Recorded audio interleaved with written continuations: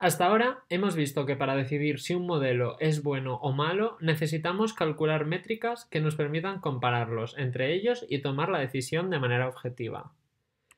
Pero es importante tener cuidado sobre el conjunto de datos sobre los que evaluamos esta métrica. Cuando evaluamos la calidad de un modelo, lo que estamos evaluando realmente es la capacidad de dicho modelo para generalizar. Un buen modelo es aquel que es capaz de extraer a partir de una serie de datos los patrones más importantes para predecir la variable objetivo, es decir, un modelo que aprende. De ahí viene el nombre Machine Learning, aprendizaje automático. Esta extracción de patrones debe ser lo suficientemente precisa como para acertar, pero lo suficientemente general como para poder procesar cosas nuevas, ¿de acuerdo? Es decir, no se puede ni centrar demasiado en memorizar patrones muy, muy, muy concretos, ni ser una escopeta de feria que pueda decir cualquier cosa. Supongamos que tenemos el modelo que vimos antes, un modelo que recibe imágenes de animales o, o, imágenes de Pokémon y debe decidir si lo que aparece en la imagen es un Pokémon o no. El modelo perfecto debería ser capaz de distinguir Pokémon de animales y además, esto es la clave, funcionar para Pokémon creados en un futuro o para animales que no haya visto. Es decir, si entrenamos este modelo, por ejemplo, el que vemos aquí con un caballo, un perro y una tortuga, también debería ser capaz de reconocer una cabra, por ejemplo. O eso, Pokémon que en un futuro se vayan a inventar. ¿Cuál es, digamos, la, la guerra aquí? Pues que si nuestro modelo generaliza demasiado, podría procesar a un caballo como un Pokémon, porque ambos tienen cuatro patas, ¿vale?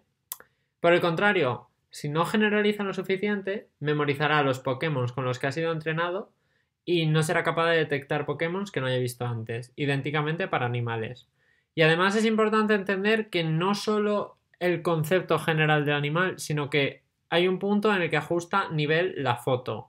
Es decir, tiene una foto de un perro sentado con un fondo verde detrás y si cogemos a ese mismo perro pero lo ponemos en vez de, perfil de frente en una playa ya no lo reconoce, porque no es capaz de generalizar el concepto perro, solo aprende que esa imagen es un animal, ¿de acuerdo?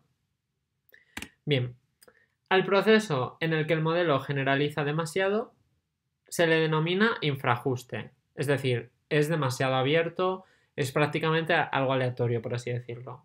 Al proceso en el que el modelo memoriza los datos y pierde toda capacidad de generalización ajustándose totalmente a los datos con los que es entrenado, se le denomina sobreajuste o popularmente conocido como overfitting. Se suele usar el término en inglés en este caso. Vale, veamos un ejemplo práctico para aclarar del todo esta idea. Bien, suponemos que tenemos los valores de una acción en bolsa a lo largo de un tiempo, ¿vale? A lo largo de un día, por ejemplo. En el eje X tenemos las horas del día y en el eje Y lo que vale la acción. En este caso, pues la acción empieza bastante bien, va bajando de valor y acaba el día creciendo, ¿de acuerdo? Vale. En el primer caso, en el caso de la izquierda, tenemos infrajuste, es decir, tenemos una recta que pasa así un poco por en medio de todo, probablemente de hecho sea la mejor recta posible, el problema es que no deja de ser una recta, no permite mucho ajuste, y entonces tenemos infrajuste, es decir, mm, va un poco, no, no exactamente a voleo, pero es verdad que quitando en puntos muy concretos no suele acertar. Sobre todo por el medio vemos que se equivoca estrepitosamente y al principio falla bastante también.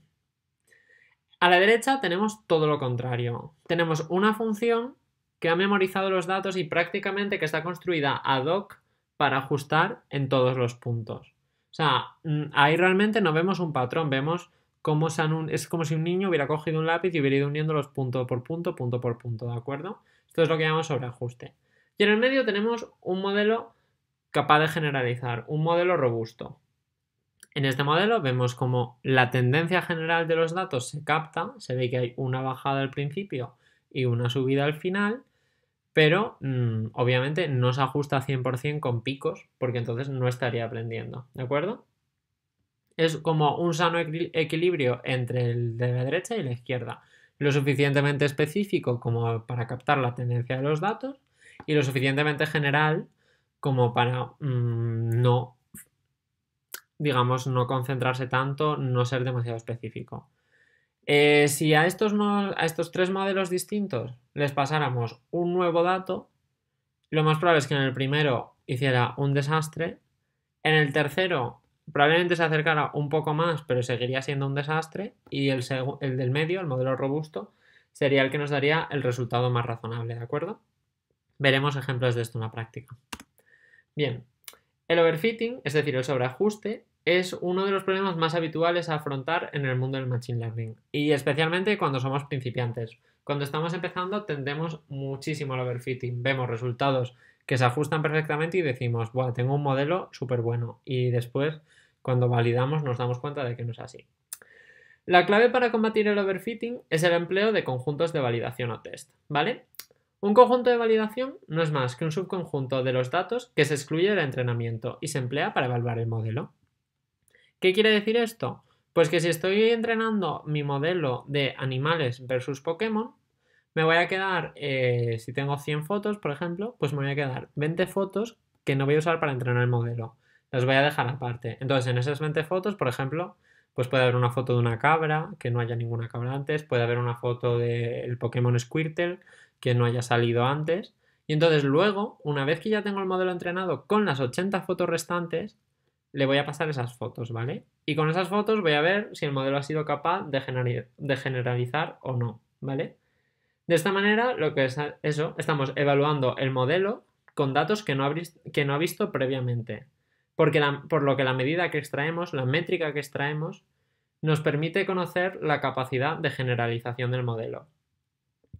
La manera de detectar el overfitting es comparar los resultados de la métrica en entrenamiento y la métrica en test, ¿de acuerdo? Es decir, empleamos nuestra métrica, en este caso de clasificación la tasa de acierto, y la calculamos en el entrenamiento, es decir, con las 80 fotos que hemos usado de entrenamiento y con las 20 de test.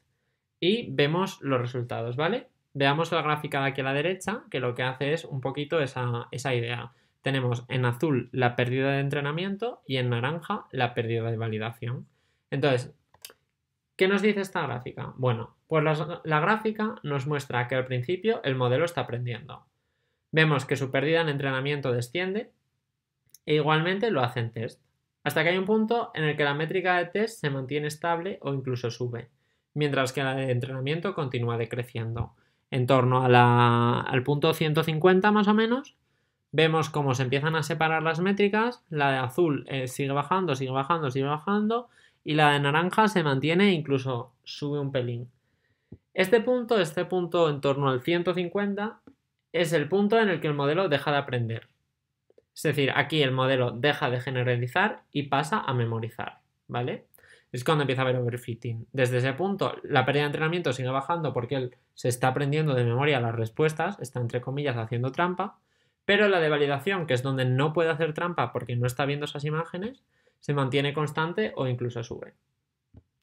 La manera de prevenir el overfitting es simplemente comprobar que no existe una gran diferencia entre las métricas en training y test. Es decir, siempre vamos a dividir nuestro conjunto de datos en entrenamiento y validación.